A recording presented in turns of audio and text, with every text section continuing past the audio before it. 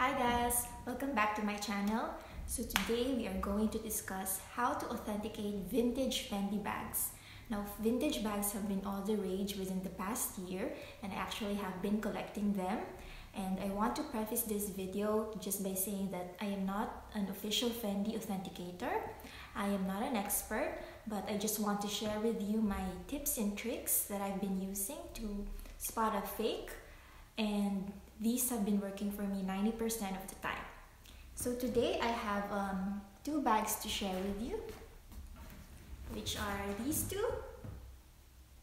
So I have this um, Zucchino hobo type bag and this Zucca tote style bag.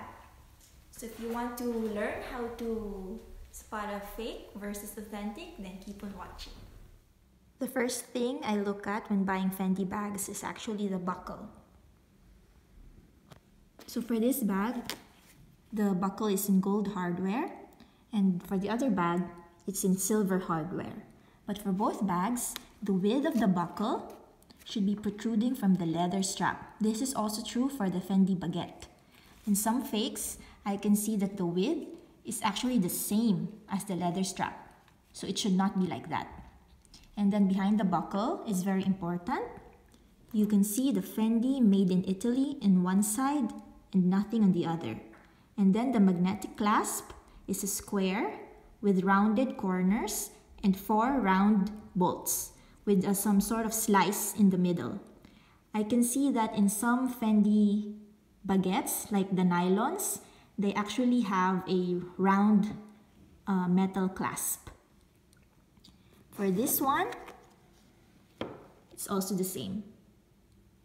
And in some bags, there is also a Fendi engraving on the side, as you can see here. None on the other side. However, not all Fendi bags have this. For instance, this doesn't have it. But it's still authentic. For the magnetic clasp, of course, it should match the shape of the cover. And there is a Fendi engraving. In this case, it is on the right side with the Fendi logo and the FF logo on top of it. The other version is this one, whereas the Fendi engraving is in the middle and there is no FF logo on top of it. For the side buckle, it should be square with sharp edges and a Fendi engraving on one side with this round hole at the bottom and on the other side it won't have the Fendi engraving. However, if you turn the bag around, it will have the Fendi engraving on this side and none on the other. In some of the fake bags, I can see that this um, round hole is missing, so you should really look for that. And for the other bag, it's the same. Square buckle with sharp edges, with the Fendi engraving and round hole at the bottom, none on the other side. And it's the same for the other side, Fendi engraving at the top, none at the bottom. But if you turn the bag around, there's the Fendi engraving on the top, none at the bottom. And for the other side, Fendi engraving at top, none for the bottom. The next thing I look at is the strap itself, particularly the end of the strap. So the end should have sharp edges in some of the fakes, I can see that the edge is rounded. So you should check that as well. For the other bag, as you can see, the strap edges are also sharp. There is also a logo inside the bag, which can usually be found at the back. And there are many variations. For instance, this one is on a metal plate, which says made in Italy with a Fendi logo and it is attached to a leather strip. You should also pay attention to the stitching around the leather strip. It should be tight like this. And the other type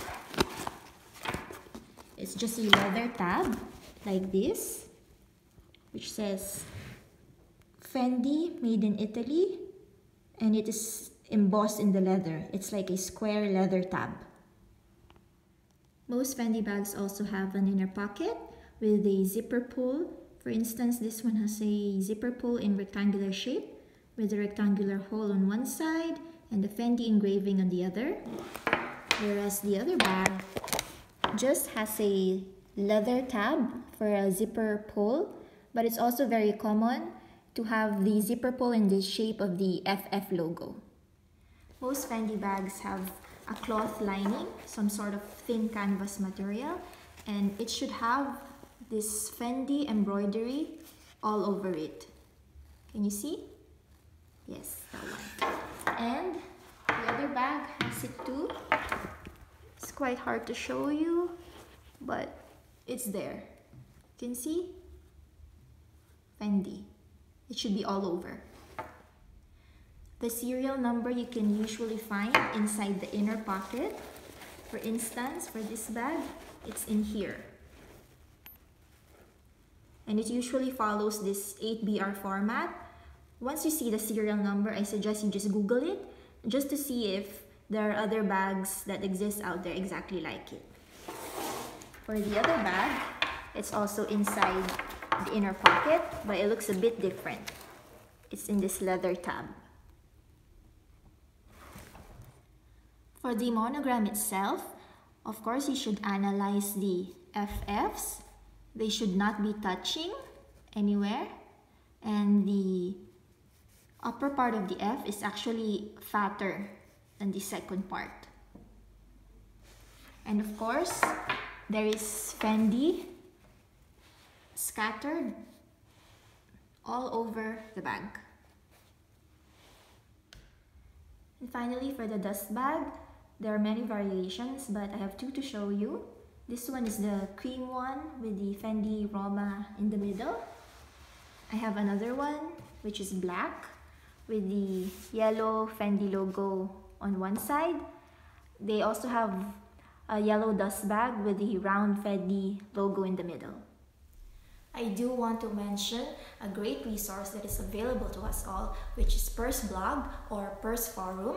So it's basically a forum where um, all the members of the community are passionate about bags and there are the moderators are real experts so they can authenticate um, the bags for you. You just need to um, send them a query follow the format and you need to submit complete photos of the bags that you want to buy and they will authenticate it for you for free. So i've also used this resource and i've gotten um, good results some were fake, some were real, and so I'm very happy with this. The only thing is, I know sometimes um, it takes the moderators, let's say, a few days to reply because, of course, they also have their own lives and they're busy and they're doing this for free. So, if you're impatient like me, or maybe you're afraid that um, you might lose the bag, then it's good to also educate yourself so you can do some quick decisions especially if you need to buy the bag immediately. And that's what this video is for. Of course if you still have doubts and you really want to get your bag authenticated with a certificate or something like that then i also have another resource which i use and i will link it down below. I think they only charge um, 6 euros for authentication if it's just like a written verbal or verbal authentication but if you want a certificate then that would cost more. And they reply usually within 24 hours. So i think it's good to even the bags that you already own just have it authenticated for your own peace of mind. So anyway that's it for this video today guys. I hope you enjoyed it and you learned something today. And i'll see you next time. Bye